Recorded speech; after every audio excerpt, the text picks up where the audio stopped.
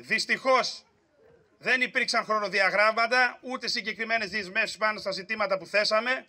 Έγινε ένας διάλογος, αλλά ουσιαστική απάντηση για το πότε θα δοθούν ας πούμε οι αποζημιώσεις για τις ελιές που εκκρεμούν, τίποτα. Πότε θα δοθούν οι ζωοτροφές, οι μεγισοτροφές που ζητάμε εδώ στην περιοχή, τίποτα. Τι θα κάνουν για την μεγισοκομεία για να στηριχτεί εδώ στην περιοχή, δεν έχουμε συγκεκριμένη απάντηση. Εμείς σήμερα πήγαμε για να πάρουμε δεσμεύσεις και χρονοδιάγραμμα. Γιατί από λόγια παχιά, εδώ ο βόρειο ευιώτης λαός έχει μάθει πάρα πολύ καλά που πάει η υπόθεση με τα παχιά λόγια.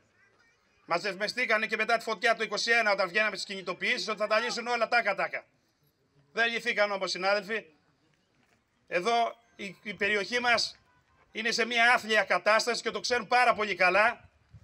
Και εμείς πρέπει να πιέσουμε για να, να σκύψουν πάνω από τη βόρεια έβεια και να αρχίσουν να παίρνουν μέτρα να αλαφρυθεί ο, ο τόπος.